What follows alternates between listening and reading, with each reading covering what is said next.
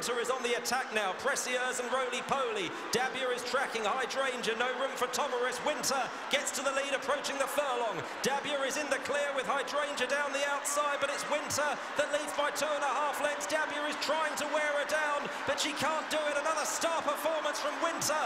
Two guineas, now a coronation. Winter is crowned Second, Roly Poly. Hydrangea third. It is an Aidan O'Brien one, two, three with Dabyah in fourth place.